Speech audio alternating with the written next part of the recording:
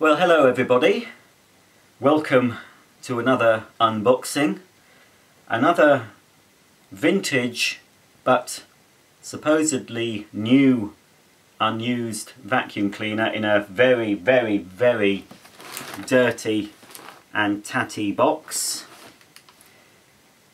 Any of you who are regular viewers will have seen me un unwrapping this alongside another vintage vacuum, a Hoover Aquamaster. So as promised, here I am to do the full unboxing. I'm crossing my fingers, I'm crossing my legs, I'm saying a little prayer that inside here, despite the poor packaging, we've got a perfect vacuum cleaner. We can but hope, but it is very mucky this box. Now on first viewing, at least the machine itself is wrapped up in some perspex.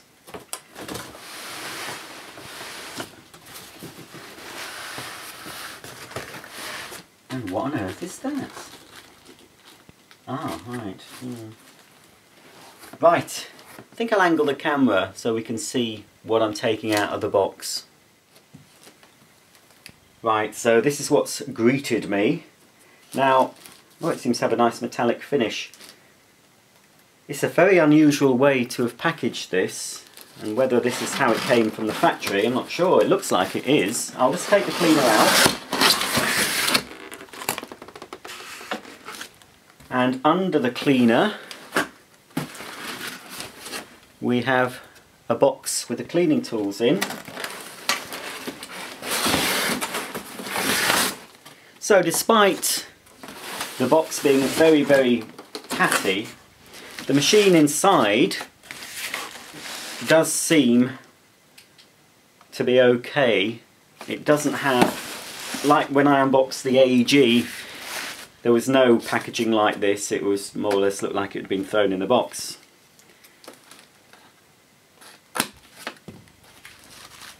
So here we have it. Oh, there is a plug on. That's very Very odd the way they've done that though. It's hard for you to see possibly. What? It says instructions for connecting mains lead to the plug, but it's got a plug. And I assume this is how it's this is how it must have come from the factory because it's very odd. The plug end Oh, and it's an MK plug as well. That's put into the hose inlet of the vacuum. There's some protective, um, sort of, I don't know what it is, some protective stuff um, underneath the wire to protect the finish of the vacuum. So I'm assuming that this, again it smells very musty, this is how it would have been packed at the factory. I'll put that to one side Seems okay initially and we will have a look. These tools, the seal has been broken. That's a nice, nice cleaning head. Right. We'll start with mm, extension tube, which poof, once it's had some metal polish on, it'll be alright, but looking inside it looks like it's gone a bit rusty. You won't be able to really see, I don't think. You can't really tell, can you? I can see that, but it looks okay. And it's got, unusually, for Bosch, you didn't know Bosch did this, but it has looked like it's got a pip fitting. That's very reminiscent of the Hoover cleaners. Little bit of a cobweb. Nothing that uh, a damp cloth won't sort out. It's quite a long handle. No suction relief valve on this. Swivels. And this end, again it swivels, the hose swivels that way, but it also looks like it's a 360 degree swivel top as well. It's quite a nice seal on that as well. So when it's connected to the machine, it shouldn't leak any suction. I've got a little button there that releases it. Now I do like the look of this. Now this cleaning head is nicely sealed, so we'll open that up. Now, it's an all plastic affair, unfortunately, by the looks.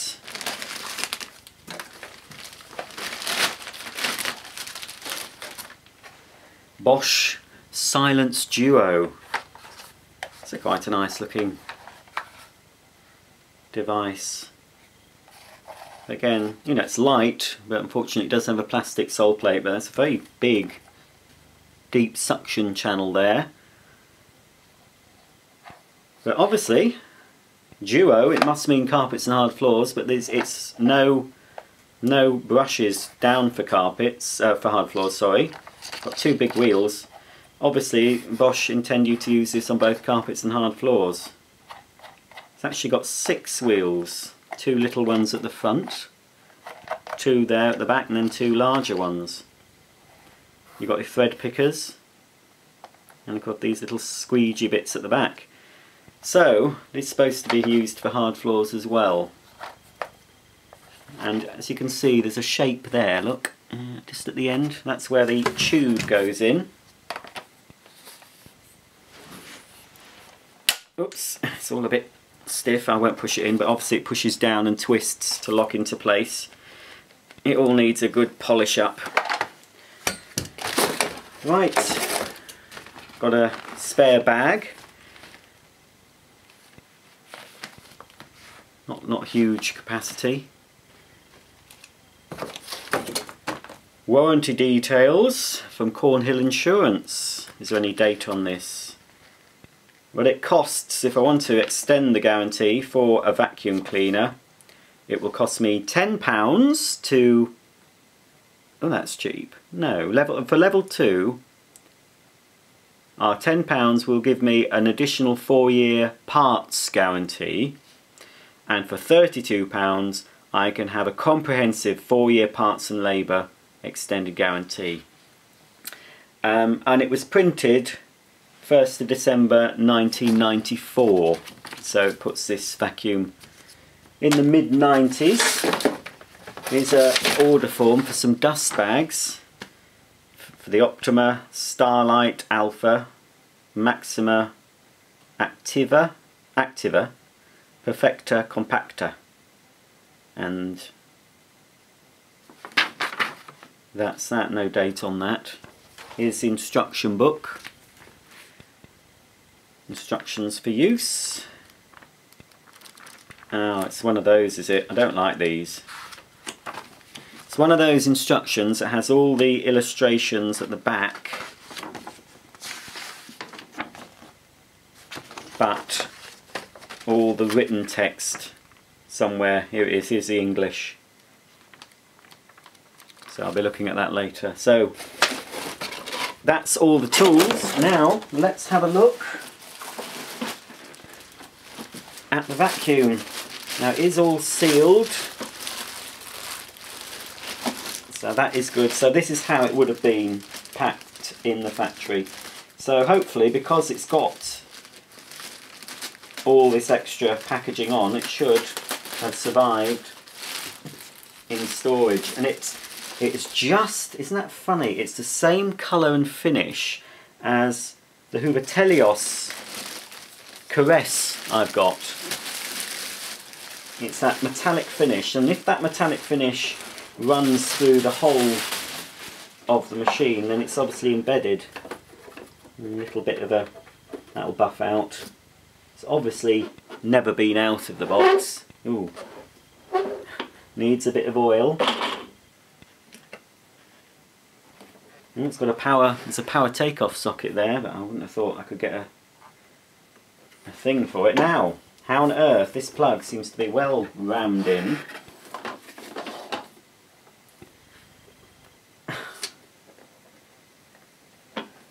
That is very awkward. How on earth have they got that in there?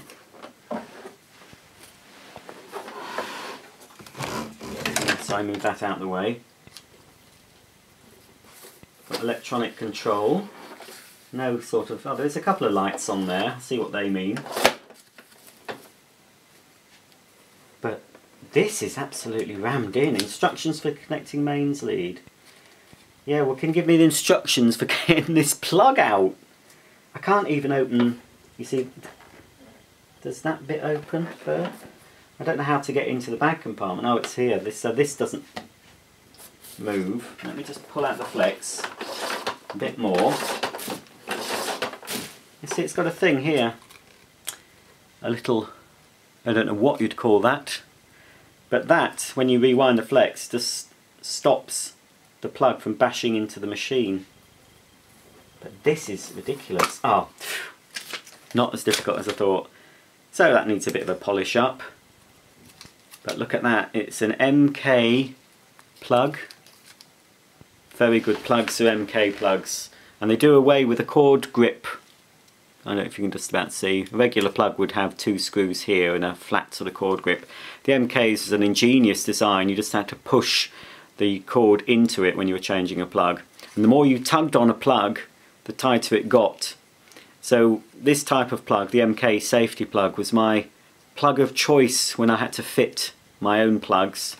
Maybe not necessarily this particular style, but I always like the MK design. And on a vacuum cleaner where the, the cord, when it goes into the plug, can get tugged from time to time, it is always good to get um, one of these. Obviously they're all moulded on now, so you don't have that problem. So, I can now remove this protective piece and have a look at the vacuum which apart from a tiny little blemish on there which I can't blame the seller for because that would have been there beforehand it seems okay. I think might need a bit of an oiling. It's a Perfecta 83 and I believe inside here should be some cleaning tools. Oh what's here? Should that come off? Well it's not broken Anyway, I'll, uh, oh, what's that bit of plastic there? I don't think it means anything. Anyway, here's the three little cleaning tools. No dusting brush as such. Short and stubbly little crevice tool. You've got your all-purpose nozzle with your thread pickers. And did it go in there? it went that way, didn't it? That's it. And then the brush here which obviously slides onto the all-purpose nozzle. Similar to the way I suppose, oh it doesn't slide on, does it just clip on? I think it clips in place. Not sure which way. Anyway, that goes on somehow, doesn't it? I think it clips, there it is. Clips in place there. So it's, but it's fairly soft, you could use that for dusting I suppose. It doesn't have a round dusting brush, that way. Let's hope I can get the panel on. And yes, like I thought, it is completely embedded, this metallic finish. I don't know if you can quite catch that on camera. It's a green colour with an embedded metallic speckle. It's got 96, January 96 on this part, so this particular part was made in January 96. But the cleaner could have been made later, but not earlier. Anyway, that, that's gone back on. Oh, that's unusual too. Here we've got the dust bag. Self-sealing, as I took it out, it's sealed up. It also has this, it says sanitised on it, another sort of filter medium, that comes out. Now that's, that's like, if you look back at my videos, I did one on a Karcher, a Karcher cylinder. The bag for that sat in a sort of filter box like that. Whether you can wash that, time will tell. I'll have to check the instructions. But if you can't wash that, that's probably be quite a pricey item to replace because the filter is actually stuck on to this basket. But behind there we've got another filter which will slide up. Might be charcoal. It says Micro San on it. And there's a black there's a black filter medium inside, so and it's quite thick. So I expect for the time that this was in the shops, the filtration would have been quite good. Sorry about this. The sun's just come out. What a shocker. Just trying to... The motor, yeah, the motor's fine. I don't know if you can quite see it. It's very hard to get the angle, but I can just see it in, in there. And it's all shiny. Shiny and bright. So I don't think any moisture, because it was all wrapped up, I don't think any moisture's managed to get into this cleaner. So that's that's good. Let's pop the filter basket, that's what I'm calling it, back in. Pop the Oh, now we see, now I've pulled that out. Eek! Oh, it's hard to get, oh, I should be able to do it. I'll have to go online to check about availability of bags for this. I would assume, oh bosh, don't do this to me. I might, oh no, hang on, can I get it from this way? Don't think I can, um,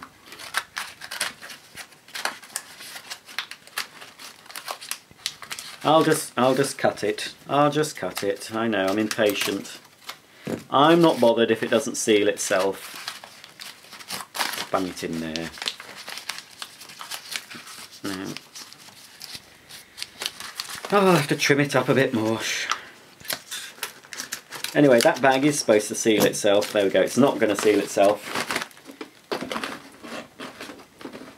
Also, it's got another fail-safe Again, it's pretty standard.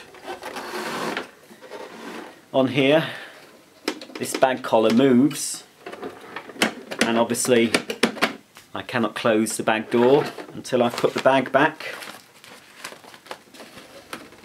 correctly. And that should be in. That's it. So now I should be able to close. That's it. So is there any exhaust filter? There does seem to be, yes.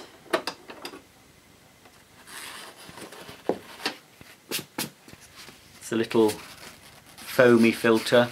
Again, I, I'm not sure if any of these are washable. They didn't tend to, uh, tend to be washable for cleaners of this era. They were replaceable. This is before bagless took over and people were expected to replace filters and things. Not Probably not that many people did, but... Uh, the motor is under here, but again it's sealed up in some more insulation, so maybe quiet, I'm not sure. Don't know how noisy this machine's going to be. But being a German made machine and a Bosch, I don't think it will be noisy. Wouldn't it be great if these lit up? I don't think they, they're going to light up, but it wouldn't be fantastic. Now there is a light here, that's obviously a bag check or blockage indicator light, and a green light, which I'm assuming is a mains on indicator. Right then, put the hose on and plug it in, and we'll see if this Bosch vacuum cleaner works as it should. One thing I've noticed as I was pulling out the cord, a nice little detail here, is around where the cord exits and enters the machine, this bit here, where you'd get often some wear when you're pulling out cords. I've seen vacuum cleaners with auto cord rewinds that because the cord has been pulled out so often, the plastic surrounding the cord inlet, you can see where it's worn down. But on this Bosch model, this is typical thinking of German, German engineering, it's actually got a metal loop put around there which shouldn't wear away after constant use. Also on the back, I'll just show you, you've got your parking bracket. Again, it's a fairly standard feature. That's so we can park the main nozzle at the end there, look. There's also one on the back, I'll show you the back in a minute, I forgot to show you the back of the machine. So here we have the control panel, so we've got motor speed control ranging from 300 up to 1400. So it would be okay to be sold now with the new regulations in the UK and Europe, EU countries anyway. It is under 1600 watts. Again, apologising for the sun, because it makes things a bit more awkward to see. Right, I don't think it's going to light up anyway, I can tell it's not. But anyway, let's see what it's like. Now,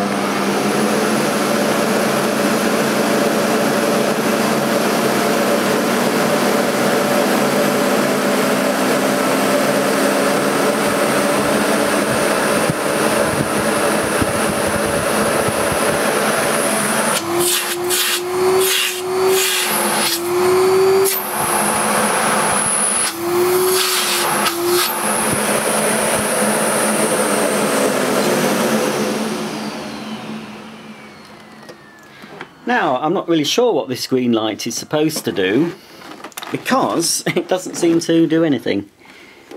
The green light there. As you can see, when I blocked off the hose, the bag check light came on.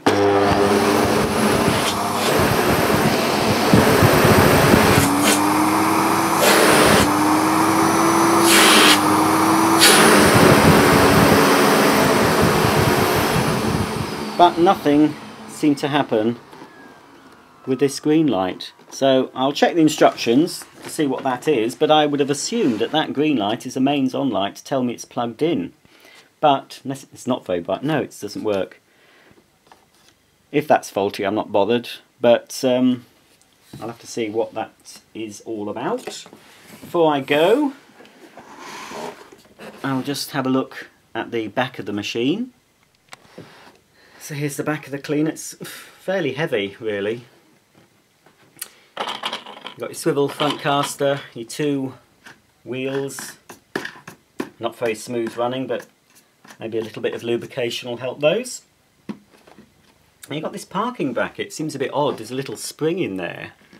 So let me just reach over the instructions because I did try putting this nozzle in and well, it doesn't really go in very well. So I'm not sure. Let's check, see if there's a picture. And I think it, I think it tilts outwards actually. That somehow. I'm not sure. It does move somehow, I believe. Let's have a quick, quick shufty. If we can find the English. English, here we are, floor nozzle. Silence Duo. Yes, the, the nozzle is supposed to be for hard floors and carpets. Appliance with automatic function. This doesn't have the automatic function. Bosch call it Ecomatic. This probably dates from around the time that AEG that I unboxed. It's probably that sort of um, time period, mid-90s. So there is an Electro Duo brush available. Fig 27. Oh, I'm looking at Fig 27, but it's not showing the brush. Oh, is that the brush? Fig 38. Oh, no, here it is. Fig. That looks a good brush. I don't suppose I can get one of those anymore. There we go. That's an electro brush.